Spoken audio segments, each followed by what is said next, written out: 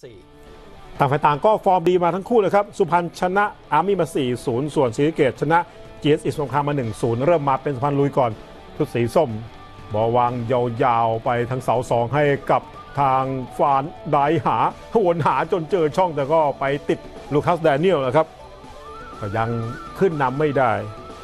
ลูกนี้ฟันได้ก็ยิงพยายามยิงนะครับด้วยเต็มเลยครับเต็มหลังเท้าแต่นี่ผู้รักษาประตูของศรีสะเกตครับ ลูคัสแดเนียล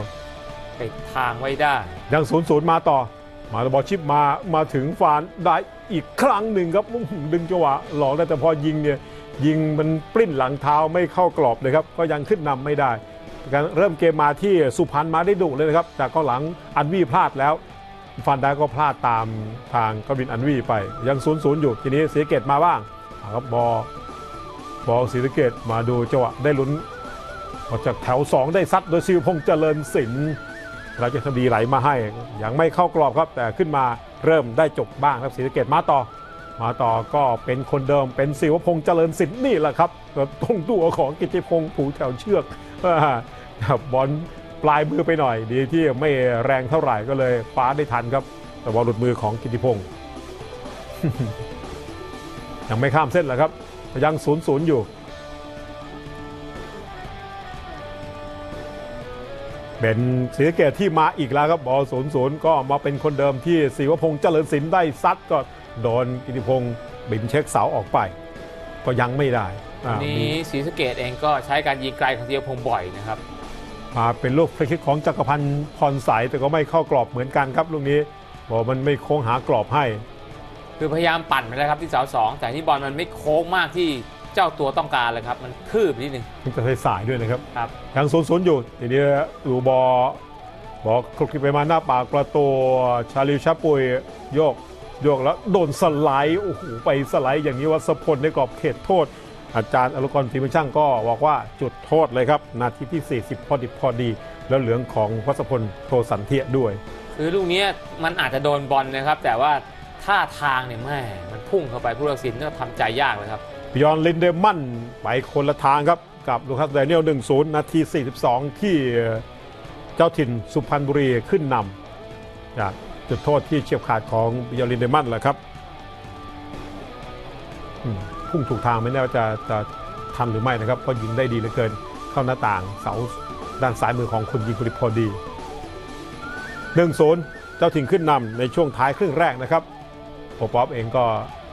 ไม่รู้ว่าท่าทางสบายใจครึ่งหลังสุพรรณมาต่อดูบอลได้ชิปนิ่มๆ สวยงามมาก เอกชัยฤทธิพันธ์ครับลูกนี้ ว่ายิงที่เสาแรก ลูคัสเดนเนลเห็นบินแต่ไม่ถึงครับจังหวะนี้นะครับเห็นเห็นบอลโอ้โหสุดปลายมือ 2-0 ครับ คือลูกนี้เอกชัยยิงเนี่ยลูคัสไดนเนียนคิดไม่ถึงแน่ครับเพราะบอลอยู่ระหว่างขาอยู่นะครับแล้วก็ตวัดเลยพอตวัดปุ๊บเนี่ยขาตายเลยครับลูคัสไดเนียนต้องชมเอกชัยเลยครับยิงแบบคาดการไม่ถึงครับลูกนี้ครับ แล้วพอถูกเสียสองประตูลุยบ้างอบอลทางซ้ายมีมีสอดเป็นทศพลเอาวัสพลสอดมาให้แถว2อูได้วางเท้าก็ไม่ดีพอนะครับจังหวะนี้ เป็นจังหวะเติมขึ้นมาโดยสันติราชนะครับ มาต่อศรีสะเกดหวังจะประตูตีไข่แตกให้ได้ก็ตัวเข้าฮอตมาไม่ถึงยังทำอะไรสันติราชเหมือนเดิมครับที่พยายามโฉบเข้ามาช่วงท้ายเกมก็ยัง